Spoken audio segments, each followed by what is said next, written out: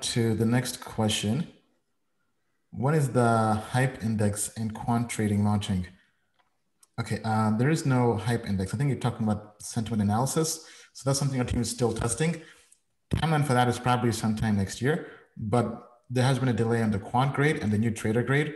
Those probably will be launching sometime next month, unfortunately, uh, just because we've been putting lots of other files out with our data provider, CoinMarketCap.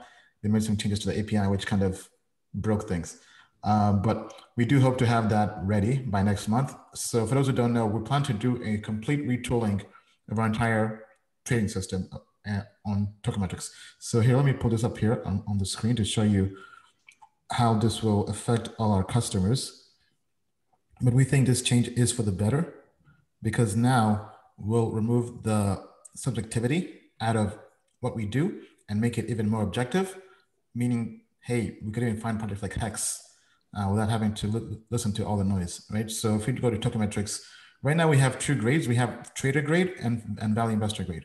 Value investor grade is based on our team going through doing fundamentals, code reviews, and then we have automated TA based on the AI. But the plan is based on our back testing, it's actually more efficient if we make a new grade based purely on 54 quantitative data points. So metrics such as Sharpe ratio, max drawdown, things that quants use. And this grade has been more accurate than even our humans, right? So this will become the new value investor grade. And then the trader grade will be a combination of our price prediction models and the TA grade, because look, if we combine those into one grade, it's more accurate. So those two new grades will be launched sometime next month. It will make the platform easier for everyone because now there'll be less grades. So it'll be very easy for whether you're a trader or investor to know what to do. And we're always open to feedbacks. Feel free to just email our team, support at tokenmetrics.com and uh, Bill, anything to add to that with the launch of our new grades?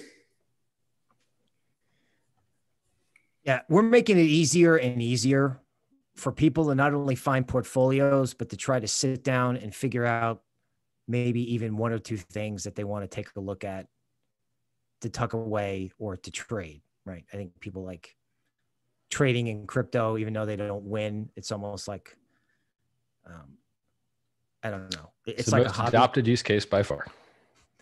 Right. And Bitcoin, we're, Bitcoin's we're, utility we're, token for BitMEX. Lol.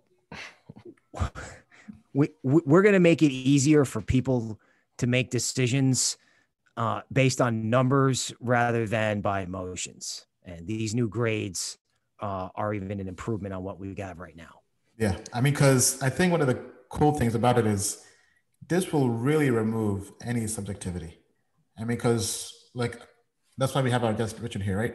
Lots of people have been bashing his project. Uh, now, as mentioned before, I'm not, I'm not bullish on the project long term. I don't own any hex, but as, as a trade, it's been making money.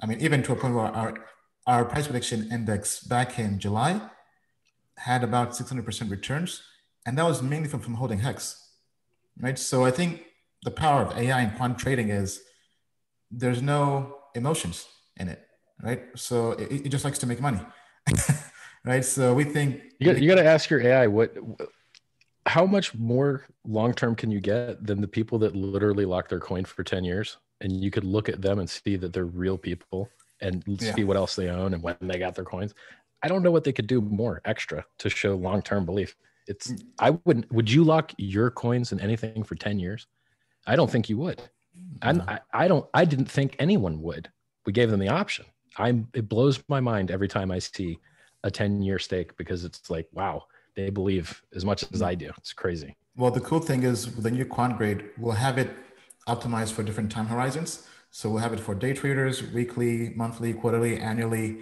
and maybe even one for longer time frames, right? But the idea is even value investors will be able to have a purely quantitative, objective approach to investing and maybe it can capture those hidden gems that nobody can really find, whether it's Hex or anything out there like that. So tell us what you think. If you have any feedback or input, down in the comments below.